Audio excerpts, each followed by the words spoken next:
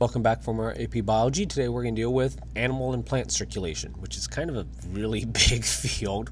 So we're going to look at the role of gradients in how circulation works in plants and animals. So a whole bunch of things. Here's where it comes from in the textbook. When we look at circulation, it turns out we have some required parts. So if we look at circulation, we need to have a pump, let's call it the heart. We need to have pipes, let's call them blood vessels, and we need to have a fluid, let's call them, let's call it um, blood. If I look at plants, we have the exact same phenomenon. We need to have parts in order to drive all of this. The fluids tend to be either called xylem sap or phloem sap. We'll have roots. We'll have things that increase the surface area of the roots. We call those root hairs. And we'll have leaves. In, in particular, they'll have openings that we'll call stomata. All of those turn out to be parts necessary for circulation within plants when we look at animals, when we have fluids moving around inside of the pipes, we have one of two patterns, what we call an open circulation or a closed circulation. The difference between them is do you keep blood inside of the pipes at all times or do you allow it to flow out of the pipes? If we look at arthropods, so the things that when you step on they go crunch, like insects or crustaceans or um, arachnids, what you'll notice is they actually have areas inside their body that are all surrounded, so it's not like it's free flow, that are encapsulated where the organs are, but blood's allowed just to sit there and soak around them and eventually gets pulled back in towards the heart. Whereas we, we don't get to do that. We always need to have blood kept inside of tubes at all times, and if we ever let it out, we have issues. And the result is we also have capillaries. So, with us, us and our closed circulation, there turn out to be patterns in the ways that closed circulation can be built.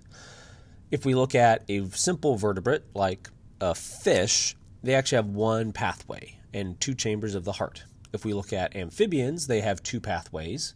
So, one that leads to the lungs and back, one leads from the heart to the rest of the body and back. But the result, but when you look at the heart, it looks like it's not two chambers, it's actually three chambers. And when you look at us, birds and mammals, we actually have a four chambered heart. So as we go along and compare vertebrates, what we really see changing is the structure of the heart. And if we were to look at how our heart gets built, you actually see it run through the two chamber version, then the three chamber version, until eventually we get to the four chamber version. Take physiology, we talk about it there. What the heart ultimately does is it's a driver of pressure everything in your body that's a fluid will move according to pressure. Stuff will move from high pressure to low pressure, meaning we have high pressure inside of your heart, so blood goes out of your heart, travels around the body, and eventually it's going to come back to the heart because your heart can actually make for a very low pressure. The heart is capable of shifting its pressure so it's the highest point and the lowest point. By doing that, blood flows in a circle. Plants actually do the exact same thing, they just use water potential. But the units of water potential are bars, but they could also be torrs or millimeters or mercury or inches of mercury, which are units of pressure. So they actually do the exact same thing. Because as we have transpiration, we move water from low or the highest water potential, the highest pressure, to the lowest water potential, to the lowest pressure. And if we do that, we get transpiration. In our bodies, we move blood from the highest pressure to the lowest pressure. They are the exact same. The difference is with us, we ignore solute potential. Plants need to take into consideration solute potential. We just use the pressure potential. As we look at us and we have our pipes, our pipes turn out to have different functions. It's not super important that you understand all the functions. I just wish to point them out. So arteries and anything that sounds like that, their job is to maintain pressure. Capillaries are there for exchange. So that's where we're going to have nutrient exchange and osmosis really starts to kick in. Then we have the the venous side or the vein type things, and that's just a big storage bag for blood. But plants are the exact same way. They turn out to have two different types of tissues that conduct. we have xylem, which primarily deals with water and things that are dissolved inside the water, and it's meant to go from roots up to the leaves. But nearby, there will also be another tissue called phloem. And phloem contains tree sap or plant sap, it doesn't matter if it's a tree or not, which are metabolites, things that the plant actually made, and that those substances can turn out to flow up or down the plant. And it's there as a different type of connect or different type of transportation mechanism.